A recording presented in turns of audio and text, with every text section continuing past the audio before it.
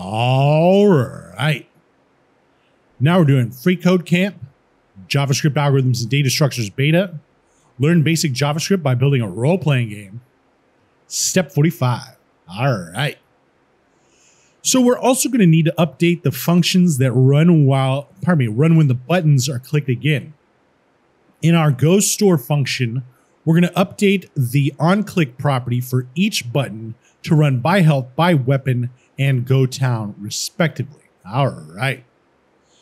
So what we're going to do here is we're going to uh, start by selecting all of 23 up to the end of 20 like this.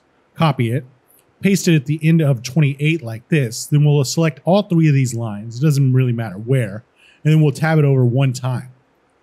Then we're going to change this first Go Store and we'll change it to uh, Buy Health. Buy Health like that. Then we'll change the Go Cave to uh, Buy Weapon, Buy Weapon. And then we'll change the Fight Dragon to Go Town. All right. So Go Town like that.